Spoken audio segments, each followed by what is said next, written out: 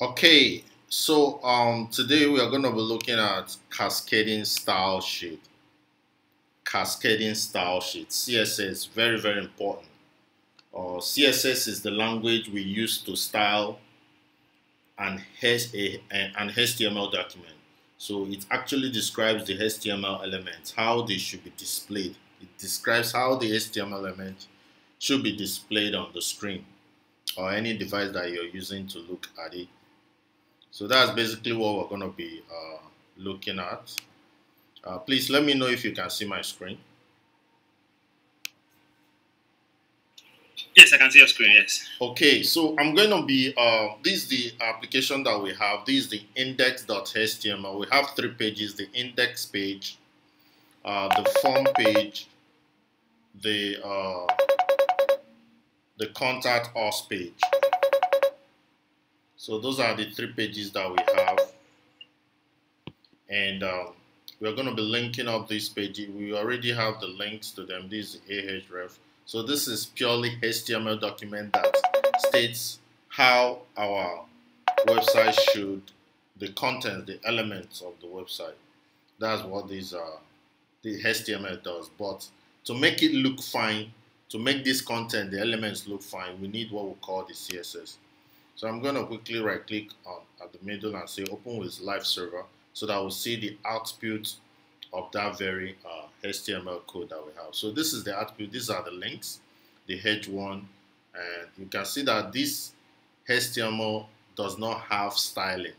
So we just have collection of elements, the ahrefs for the links, the h1, the p tag, the h2 tag, the list, or the bullet or you call it the uh, unordered list, the H3 and the ordered list, and you have your H4 and the table and then image. So this is exactly what we have here. The A ahref for the links, the H1, the P tag, the H2, the unordered list, uh, the ordered list, the H4, the table, and finally the image.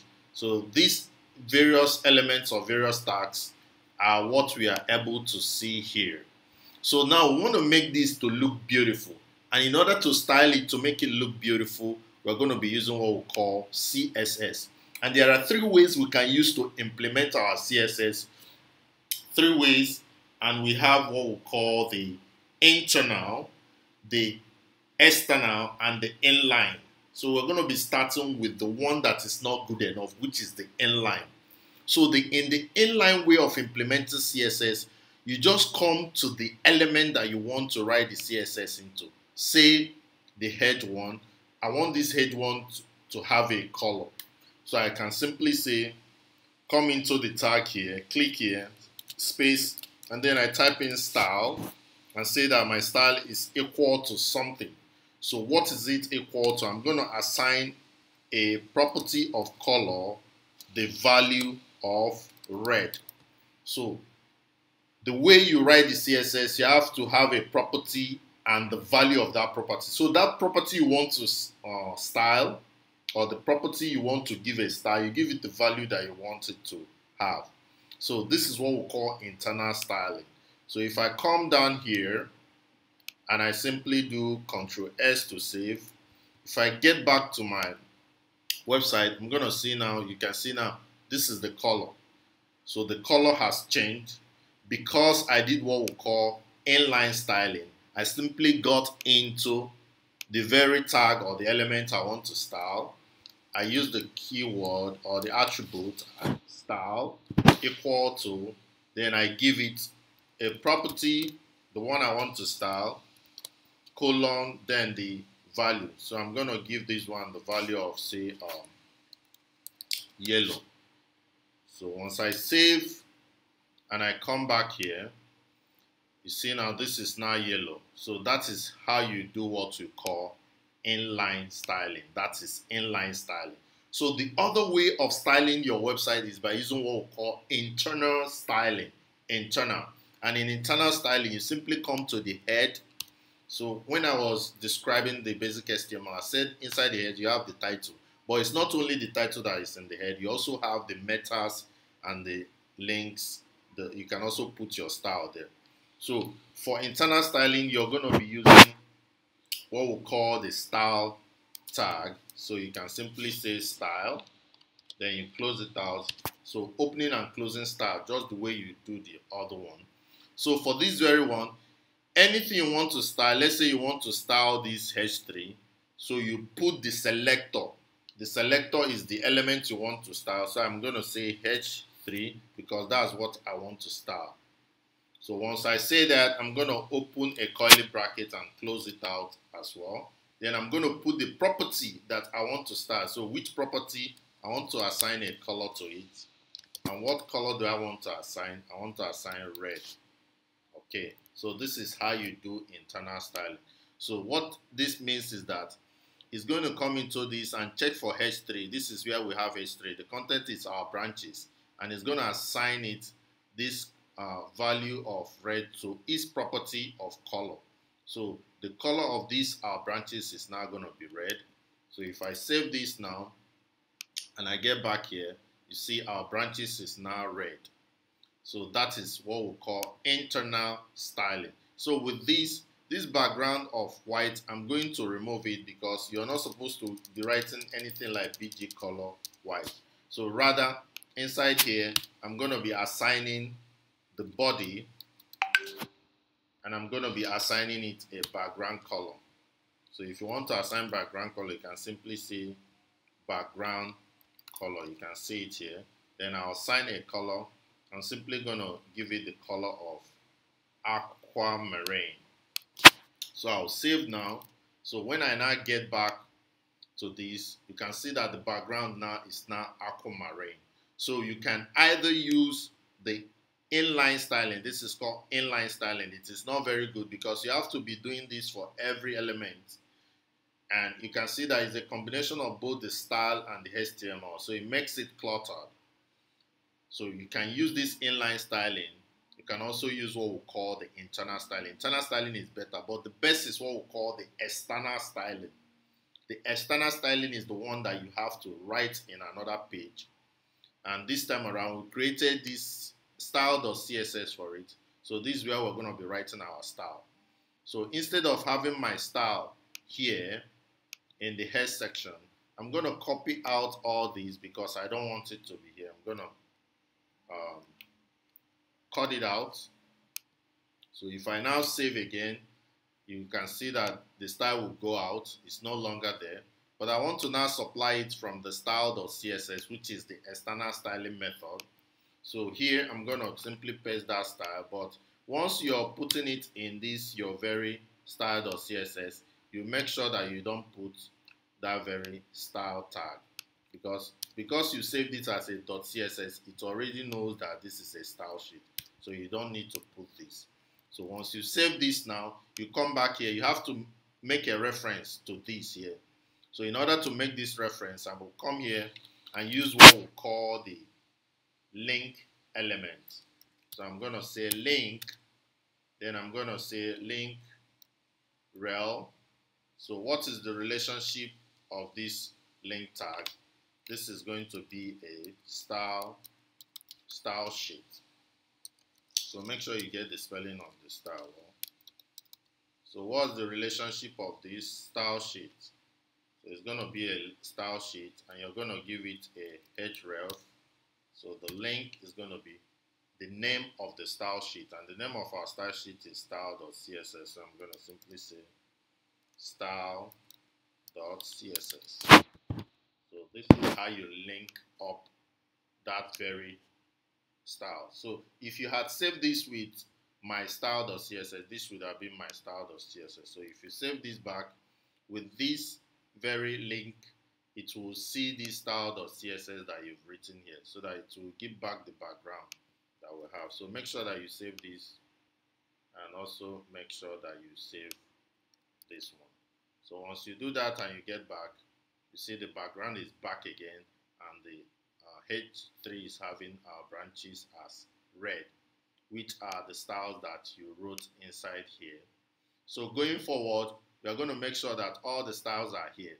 So I'm going to come back here now.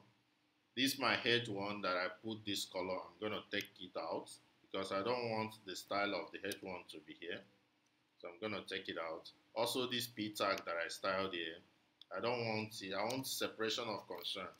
Because with this one now, I can simply use that same style. Once I copy what is here in this index.html and put it in my contact us inside the header, you're going to see that the same style that the index has, the contact us is going to have that same style. So I'm going to come here and remove this background color blue. Now I want the background colors to be consistent. So I also go to my form.html under the head and I'll also put this very link rel and I will save and I'll also take out this color here. So when I finish saving all this now, if I get back to my page, you can see now that the code incorporated does not have a style because I removed the inline styling for it and for this and for this one. But if I go to the various pages, I'll see that all of them are having the same background color. You can see the background color of this is also the same with this. So all of them are seeing the same style now because all of them are looking at the same style sheet, which is the style.css. And you can only do this with the external style, which is the best way. So I'm going to come in here now and bring in the style of the H1 now. So I'm going to say H1, which is the selector. So this is the syntax of every, uh, the syntax of every uh, CSS is you put the selector.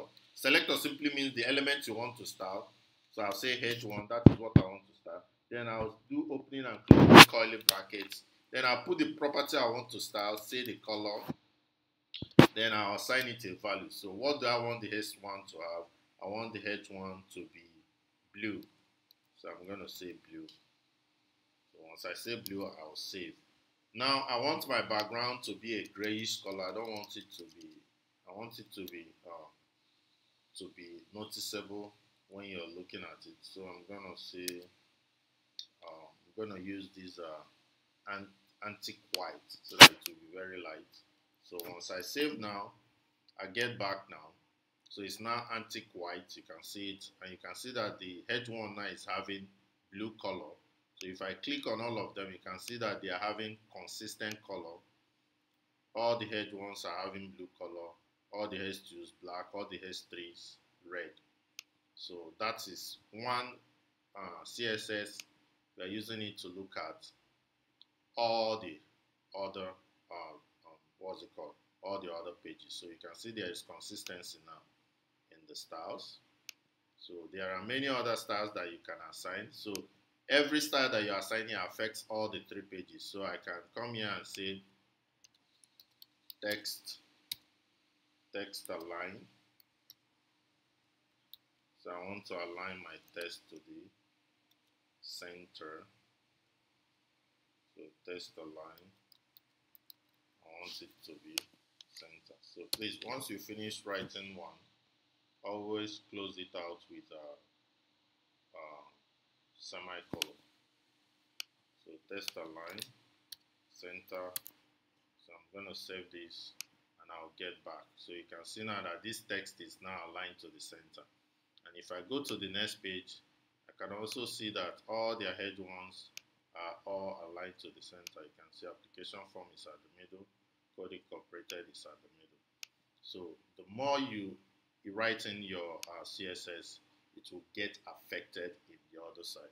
So I'm going to let you practice this and show me so that I'll see whether you've learned the three ways of bringing in CSS so you remember the number one way is by writing it into the various elements. We call it inline. Number two is by writing it in the head using the star tags, calling it internal. And number three is by creating a file separately and, and saving it with the extension .css and writing out the code using the syntax. And the syntax is simply the selector, curly brackets, property, and value. So this is the syntax of CSS, you have your what? Selector. We are going to be looking at the different forms of selector. What we just did now is what we call the element selectors, where we have the body H3, UL, all those elements that you have in CSS. But we're going to be looking at class, uh, we're going to be looking at ID selector, going to be looking at other selectors. So once you write your selector, you put your closing, opening and closing curly brackets. You write the property you want to say the property could be color or anything. So it could be the height, it could be the text alignment or anything. So you write the property, then you put your sem, uh, your colon, then you write the value. The value is simply the value you are assigning that property. Then you close it out with your normal semicolon. So this is how you you um, you you you you style. So let's say I want to style my H2 so the selector now is H2. So I replace that selector with H2. The property is the is the, what I want to style. Let's say I want to give it a color. Color is the property. So the value is the value I'm assigning to the color. So what value do I want to assign to the color? So I say green. So what it's going to do is that everywhere it sees my H2, it's going to color it green. So if I get back here, I'm going to see that my H2 becomes green in any uh, page that I used H2. This is where I used H2. You can see it's now green. So that is what happens. So if I go to this one, the same thing. So my H2 is now green. So I can get back and also align this very H2. I can do the text align. That means I want the text to be aligned to the center. So I can simply do text align colon, then I tell it where I want it to be. So you can see there are actually many options. It's not only center, but you can take it anywhere you want. So I'm to also assign center to it and save. So now when I get back to my Google Chrome, you can see that this is now at the center. So we're going to be using this style going forward to style our web pages. Is it clear? Yes, absolutely clear. Okay, so I'm gonna uh, allow you demonstrate the three ways, and we can move from there. Is that okay with you? Super fine. Okay, thank you. I'm gonna stop sharing now so that we can uh, test it. I to share my screen. Yeah, give me a minute.